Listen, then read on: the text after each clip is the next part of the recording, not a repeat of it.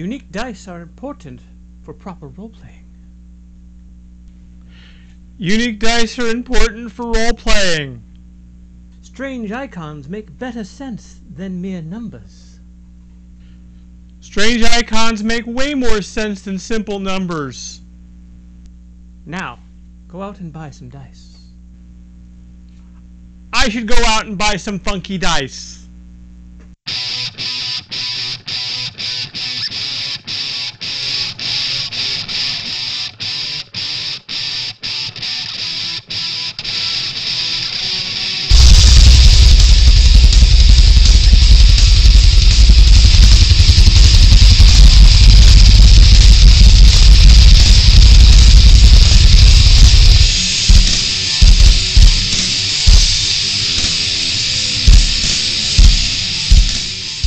Up, Internet? Jay here from Nerd Rage Against the Machine, and today we're going to be discussing Star Wars role playing, and specifically the most recent iteration by Fantasy Flight Games. One of the cool things about this game that, that I think they really did a smart move with is unlike the previous iterations, which is you know the, the West End game Star Wars D6 system and the uh, later D&D inspired Third Ed inspired D20 editions. Fantasy Flight took it upon itself to market three different products, each one with its own idea of how you're going to be playing the game. So, kind of like a pre-focused campaign. In this case, the uh, the items are as follows. First, we have the Edge of the Empire. Edge of the Empire is basically your Han Solo game. Um, if you liked the movie Solo: A Star Wars Story, if you like the idea of doing Firefly in a Star Wars universe, The Mandalorian, Edge of the Empire is probably where you're going to want to start your game. Uh, the next one in the set is um, Age of Rebellion. And Age of Rebellion uses a, um, a more military approach. So this is the rebellion versus the Empire. Again, if you're looking to tell a good war story in the Star Wars vein, that's where you're going to go. And last but certainly not least is Force and Destiny. Force and Destiny is your Jedi game. Now, I like this format in for what it does. Um, for one thing, each game is very focused. They are completely compatible. So it's not like you couldn't say build an entire game based upon Age of Rebellion and have one player build a character in in Force and Destiny and have your Jedi that way. But what they do is each game does a lot to focus. So Edge of the Empire, for example, gives you a lot of material on criminal organizations, um, civilian starships, you know those out of the reach places and, and those dirty jobs that you're going to do it do for dirt cheap. Um, or at least at reasonable rates. Age of Rebellion spent a lot more material and time on, on military aspects. If you're looking for a good smattering of Imperial vehicles, Imperial troopers, and, and all those NPCs, Age of Rebellion does have you covered. And likewise is true here. Now, just to jump back to these other two, uh, Age of Rebellion and, and Edge of Empire, there are rules in there for Force users.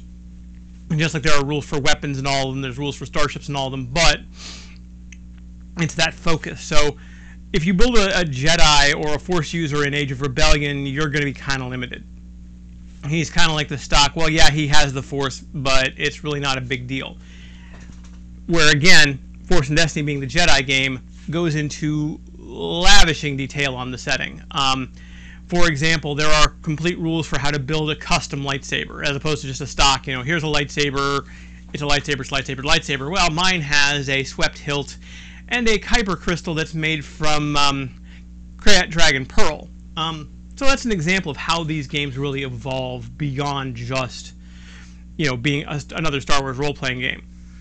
I like that because it does make it easier for the GM if he knows what kind of game he's running to simply go out and pick up that and really fo- hyper focus in that field. But again, these other books are are super useful for additional material. You know, if you really want to introduce the Force. So, like, a good, good example might be starting an Age of Empire campaign in a very military Twilight 2000 esque in Star Wars way, and then introduce a Force player, and then start to slowly push the Force narrative more into it by using this as, a, as effectively a giant supplement. Um, now, saying that, as far as the production values, again, Fantasy Flight is not exactly known for slouching. They, you know, they do a great job. The art is amazing. The material is good, and for the most part, there's very little to complain about here. the system is point based. Uh, you get an experience point total, and then you build a career or a character off of a career and a sub career, and you gain abilities and feats. And then we get to the dice system, and that's really where the game. I gotta say, it's really a double-bladed lightsaber or double-edged lightsaber at this respect. On one hand, the the system for dice is innovative, it's interesting, and it does create a lot of cool concepts. On the other hand, it can also be a problem. Much the way a lot of role playing games will build a life path system, which is super handy for a new player. You know, if you've never played before and you have no idea what you're doing, having someone tell you that you know your character is in love with the uh, the bookbinder's daughter, and you know you once survived this massacre, etc., etc., can really build a character so that you've got like all this stuff to work on on the same handle, if you're an old hat at role playing, you may have had an idea already set and the life path is just going to get in your way. That's kind of where I feel with this dice system. So what it is is the dice system is using icons as opposed to, to, to actual numeric values.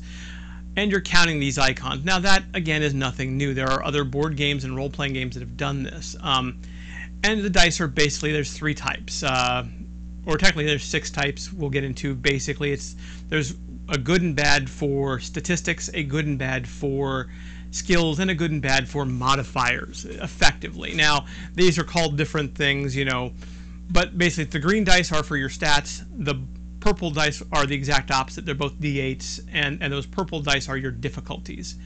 Um, you then have a yellow dice for skills and a red dice for uh, opposition which again are both d12s and they work opposite one another and then blue for, for bonuses and black for difficulties which are the modifier dice.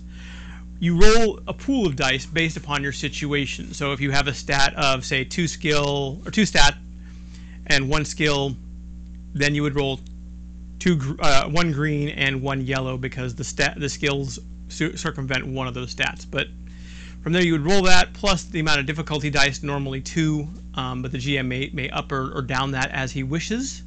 Um, and then you simply count the, the, uh, the, the, the, symbols. Um, there are symbols for um, success and failure, for advantage and disadvantage, and um, for triumph and, and threat. And what you end up doing with these is you kind of take them and, and get a more holistic idea of what happened. Instead of it being a, a typical you know d&d or even star wars d6 you know i rolled i hit that target number i'm golden.